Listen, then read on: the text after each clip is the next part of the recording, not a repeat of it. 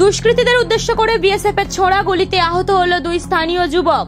বুধবার ভোরে ঘটনাটি ঘটে বস্তুরনগর থানার পাটদেওনাপুর অঞ্চলের শোভাপুর, ভারত বাংলাদেশ সীমান্তবর্তী এলাকায়। আহত দুই যুবক মালদা মেডিকেল কলেজ হাসপাতালে চিকিৎসাধীন। সীমান্ত দিয়ে চোরাচালান করার সময় দুষ্কৃতীদের উদ্দেশ্যে বিএসএফ গুলি চালালে স্থানীয় গ্রামের দুই যুবকের গুলি লাগে।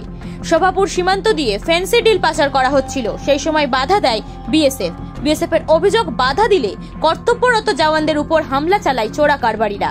পাল্টা গুলি চালায় বিএসএফ। ছেলেরা বাড়িতে বাড়ি গেল ঘুমাইতে। তারপর কি শুনলা?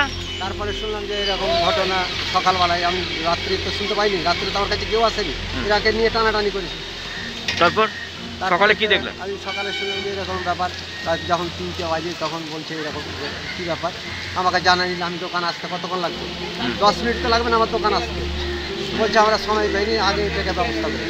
তাহলে হয়তো ওরা যারা ওই যে দুঃসতি লোক তারা হয়তো ব্যবস্থাটা নিয়ে গুলি কারা করেছে? গুলি পিএসএফ করেছে। আচ্ছা এবার বিএসএফ আর তোমার ছেলেটা কোথায় ছিল? আমার ছেলেরা বাড়িতে ছিল। ঘুমিয়েছিল বলো। ঘুমিয়েছিল আচ্ছা এবার আমি বিএসএফ গুলি করতে কেন পারে? দুঃস্থিতির লোক ওখানে চলাফেরা করে আমাদের ওটা রাস্তাতে। হ্যাঁ। ওই জন্য হয়তো দুঃস্থিতি রেখে এসব দেখে হ্যাঁ। হয়তো গুলি করেছে।